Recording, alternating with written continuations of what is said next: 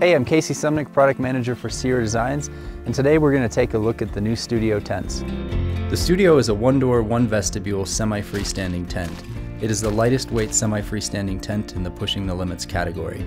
We designed the Studio differently than other fin-style tents because we weren't willing to sacrifice comfort to save a few ounces. The addition of a short ridge pole at the center and footbox of the tent create livable interior space that you are sure to appreciate. The Studio features a custom DAC hub with 160 degree angles and 7 degree tilt, creating the most vertical front wall of any fin-style tent in the market, providing more internal space. To save weight, the rear of the Studio 2 features a single pole with a cross ridge pole to create footbox space, while the Studio 3 has an arch pole and hub to support its wider width. A large full coverage vestibule at the front of the tent provides enough space for your gear while still allowing you to get in and out of the tent easily. In order to create a low vent and help reduce wind flap, the Studio features two guy out loops on the side panels that should be staked out as part of normal setup.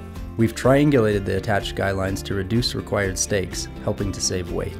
The Studio is available in two sizes, a two-person with a minimum weight of 2 pounds 11 ounces, and a three-person with a minimum weight of 3 pounds 8 ounces. If you've been looking for a tent that is ultra lightweight, but doesn't sacrifice comfort for minimal weight savings, then the Studio may be the solution for you.